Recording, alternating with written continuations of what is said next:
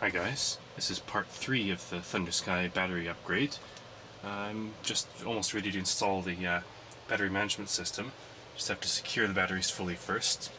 Uh, I've got these wood wedges holding them in uh, this way.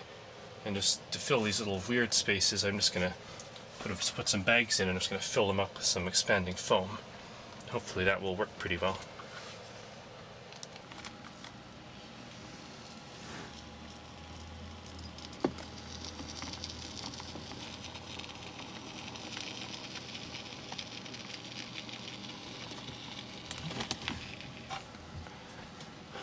Hopefully doesn't expand too much and overrun the fan.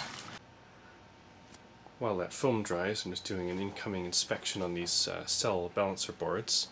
These are for the uh, Elithion uh, BMS. And out of all the boards I received, six of them have some problems that'll require rework. Two of these uh, end boards uh, have solder on, from the positive battery positive going over the solder mask that is ground, and that could cause a short circuit. That's a big uh, safety hazard actually. They need to do better inspection at the factory. And other boards, I found the uh, the ring terminals are so badly skewed that the board could touch the uh, cell interconnect. So I'm going to have to uh, desolder this and correct it. Definitely, I hope they use a jig when they actually build these. Uh, these ones obviously they didn't definitely need some better quality control, especially for an expensive uh, BMS like this. The whole thing for this uh, 45 cell pack was about uh, $1,000.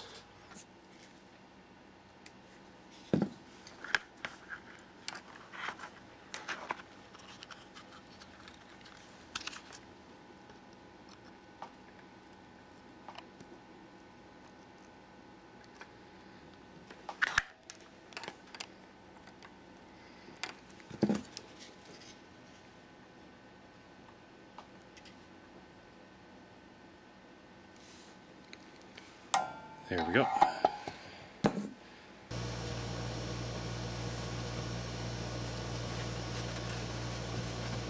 I'll start by uh, taping all the way around the outside to avoid, to reduce the risk of uh, short circuits.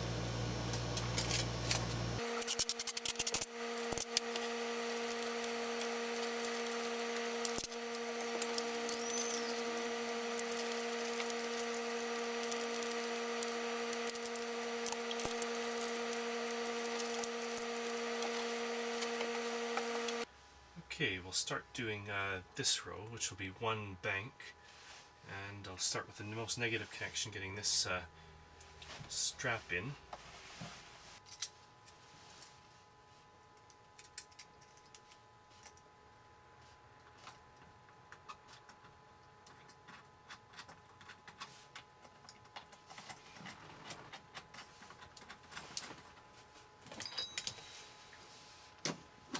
Insulated screwdriver.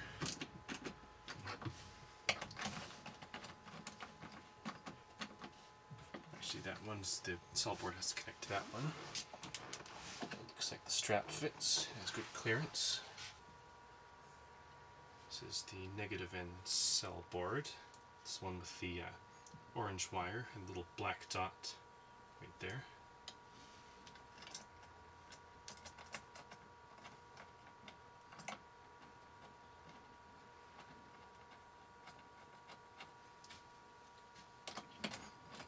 Insulated tools.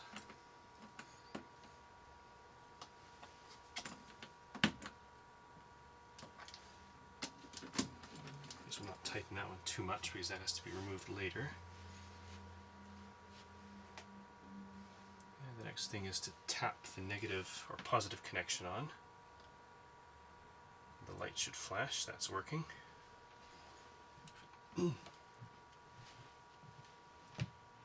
actually need to get the uh, cell jumper, the jumpers now.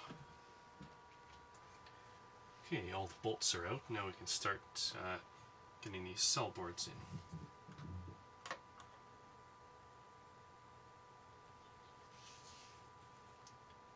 let's see. Wire needs to be a bit shorter. Bend it in a little bit.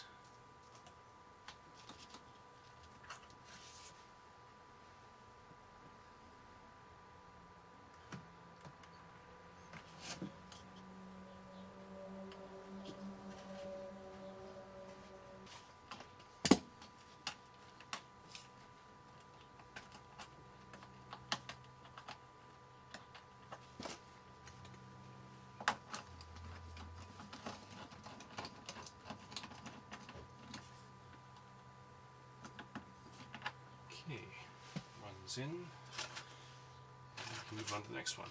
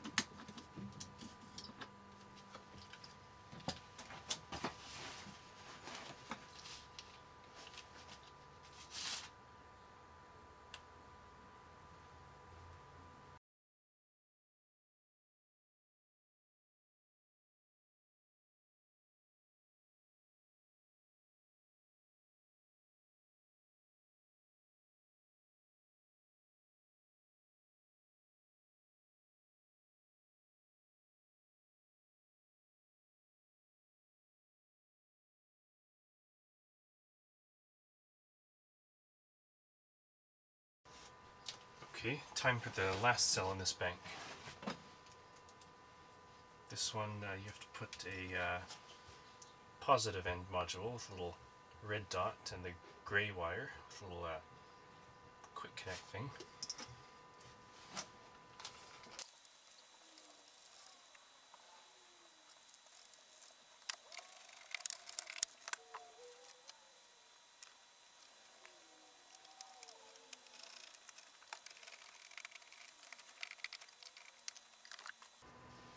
Now that, all, now that all the boards for this bank are installed, we just have to connect up the communications wires. We just use these little uh, quick connect things. Just have to cut the wire to uh, about the right length and strip it and insert it in. In this case, probably to cut off oh, a couple of centimeters of each wire.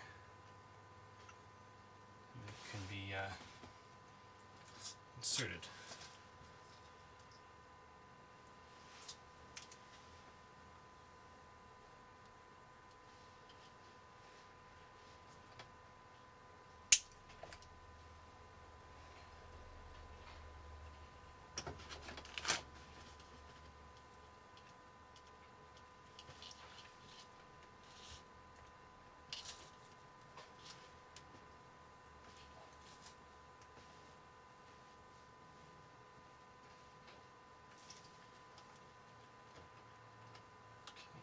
There we go. Now we just just have to do that for all of them.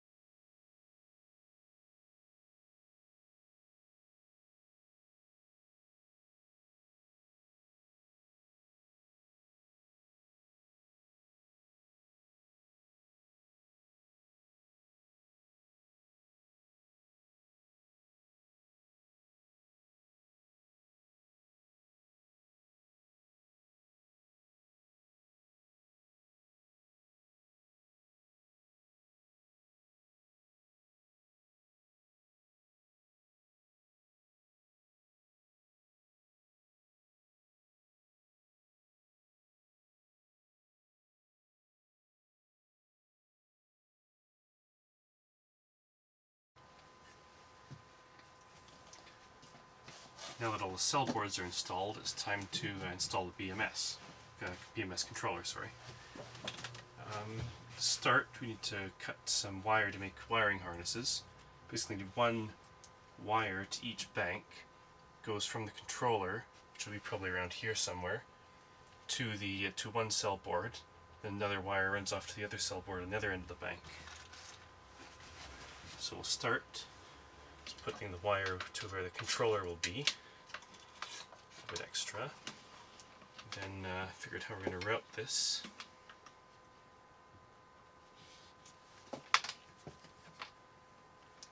Probably going down the center.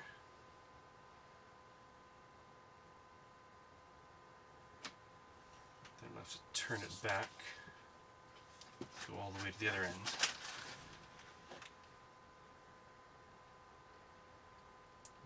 Should be it. I don't know if they've given me enough wire. After looking around a bit, I found some cable that's uh, suitable. So I think we'll use this in addition to what they sent. That should make up enough. Anyway, the first step is to install the BMS and connect, or the uh, controller and connector onto the uh, onto each cable.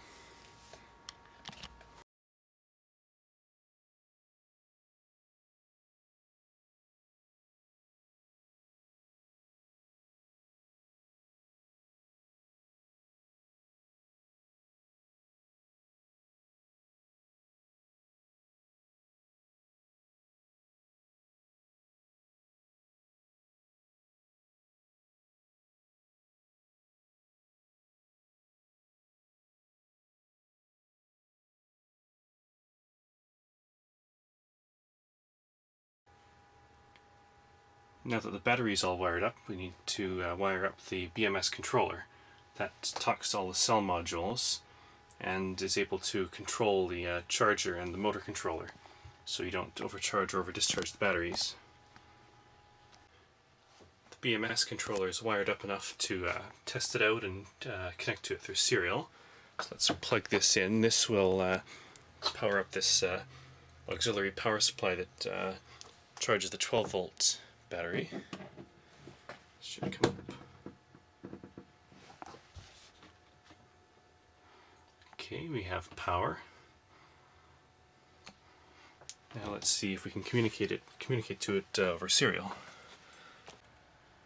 Okay, we're connected and that's working. Uh, just serial at uh, 1928N1, no flow control. Um, let's see if we can drive the contactor uh, force outputs. K2 is the drive contactor.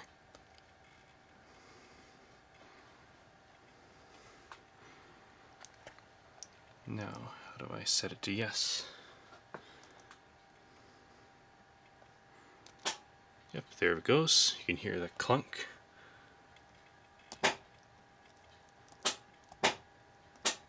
And a little light flicker flashes. Seems to work. Now I've got to hook up the uh, battery charger and set up the um, high limit output to shut off the charger. Actually, I figure I may as well wire up the cell boards uh, at this point and make sure the BMS can talk to all the cell modules.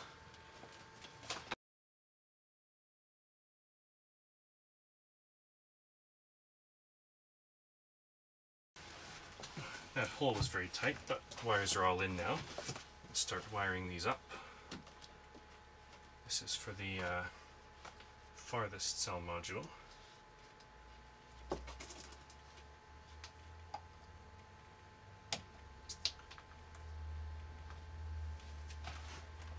This one runs over to this one.